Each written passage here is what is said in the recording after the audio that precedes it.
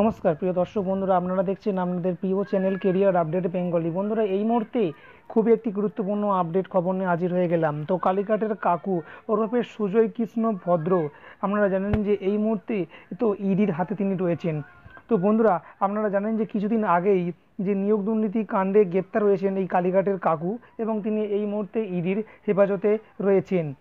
তো এবার সেই কাকুকে নিয়ে আরও চাঞ্চল্যকর তথ্য সামনে এলো। তো আপনারা জেনেছিলেন যে কাকু নাকি চাকরি বিক্রি করেছিলেন এবং চাকরি বিক্রির তিনি মাস্টার মাইন্ড ছিলেন এবং পার্থর সঙ্গে তার ঘনিষ্ঠ যোগাযোগ ছিল এবং টাকা কালেক্ট থেকে শুরু করে এ বলা যেতে পারে যে কারা কারা নিয়োগ হবে সম্পূর্ণ তিনি কিন্তু দেখভাল করতেন বা তার অঙ্গুলি হেলনেই হতো। তো বন্ধুরা, এই মুহূর্তে আরও একটি এই মুহূর্তে সবচেয়ে বড় আপডেট পাওয়া যাচ্ছে কাকু খালি চাকরি বিক্রি করেই ক্ষান্ত থাকেননি। হ্যাঁ বন্ধুরা, বলা যেতে পারে তিনি শুধুমাত্র চাকরি বিক্রি করেই থেমেছিলেন না। জানা যাচ্ছে যে কয়লা পাচার, গরু পাচার কাণ্ডেও তার যোগ ছিল।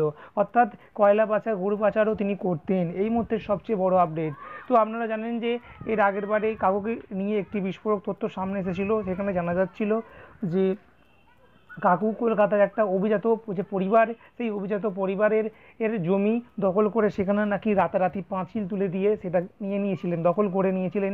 এছাড়াও তার বিরুদ্ধে খুনের একটাও বলা যেতে পারে যে সম্পর্ক কিন্তু সামনে আসছিল, অর্থাৎ তিনি নাকি খুনে জড়িত রয়েছেন। তো যাও বন্ধুরা, এই মুহূর্তে সবচেয়ে বড় আপডেট জানা যাচ্ছে যে কাকু নাকি কয়লা পাচার এবং গরু পাচার, কয়লা চুরি এবং গরু পাচার এই দুই কাণ্ডেও জড়িত। তো এবারে কিন্তু সেই সুজয় কৃষ্ণের গতিবিধিতে নজর রাখা শুরু করেছে আরেক সংস্থা সিবিআই। তো জানা যাচ্ছে যে এই কাকু ইডি হেফাজতে রয়েছেন এবং তদন্তকারীদের তিনি বারবার ভুল পথে চালিত করার চেষ্টা করছেন। তো অন্যদিকে ইতিমধ্যে আদালতে ইডি দাবি করেছে যে কমপক্ষে একশোটি ব্যাংক অ্যাকাউন্টের লেনদেনে সুজয় কৃষ্ণের যোগ পাওয়া গিয়েছে। তার চারটি কোম্পানির হদিস মিলেছে, যার মধ্যে এখনও পর্যন্ত দুটি কোম্পানির টাকা ও সম্পত্তির লেনদেনের কিছু তথ্য তদন্তকারীদের হাতে এসেছে। এই সমস্ত অ্যাকাউন্টের মাধ্যমে বিপুল পরিমাণ লেনদেনের প্রাথমিক তথ্য কিন্তু চলে এসেছে তদন্তকারীদের হাতে।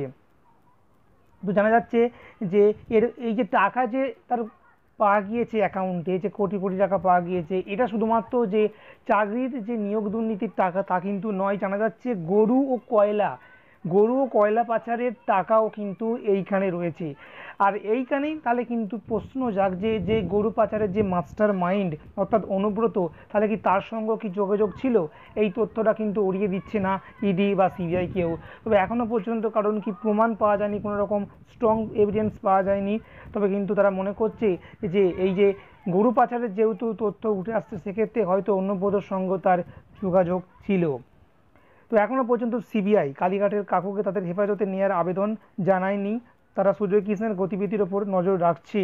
তো জানা যাচ্ছে যে সুজয় কৃষ্ণ কী করছেন, কখন কি করছেন বা তার কী রকম মুভমেন্টস সেগুলো দেখার জন্য, ক্যামেরায় বন্দি করার জন্য ইতিমধ্যে প্রেসিডেন্সি জেল কর্তৃপক্ষকে নজর দিয়েছে তদন্তকারী সংস্থা। তো বন্ধুরা, বুঝতে পারছেন? তো ভয়ঙ্কর তথ্য সামনে আসছে। কাকু শুধুমাত্র কিন্তু নিয়োগ দুর্নীতিতে যুক্ত ছিলেন না, গরু ও কয়লা পাচারেও তিনি যুক্ত ছিলেন। তো অবশ্যই বন্ধুরা সঙ্গে থাকুন।